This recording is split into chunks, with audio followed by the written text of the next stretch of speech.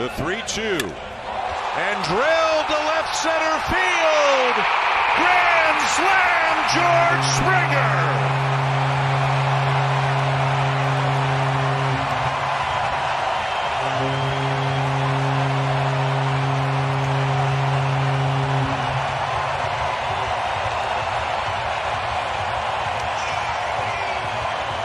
15 a number of those fastballs. He got all of it. Boy, he sure did. It was a 3-0 count. He had a green light. He fouled it off. He caught a tough pitch for strike two, and he didn't miss this pitch. What a sweet swing by George Springer. Five runs in the inning.